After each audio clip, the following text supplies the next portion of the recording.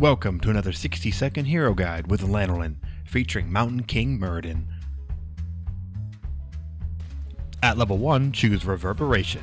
The massive attack speed slow will help you greatly against auto attack reliant carries, minions, and camps. At level 4, choose Thunderburn. This will increase your damage substantially and ensures the enemy team is slowed for an easy cleanup. At level 7, choose Piercing Bolt.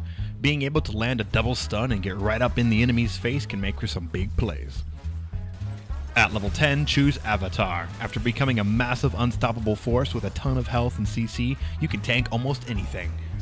At level 13, choose Thunderstrike. When facing off against a solo enemy or a tough boss camp, you will quickly deplete their health reserves. At level 16, choose Stoneform. Stoneform is truly the heart of Muradin's uncanny tankiness when combined with the power of Avatar. At level 20, choose Rewind. Rewind lets you drop another round of stuns and thunderclaps on your enemies for max damage and CC. Thanks for watching and be sure to like, favorite, and subscribe. Also be sure to follow me on Twitter at LanolinTV for the latest updates on my channel.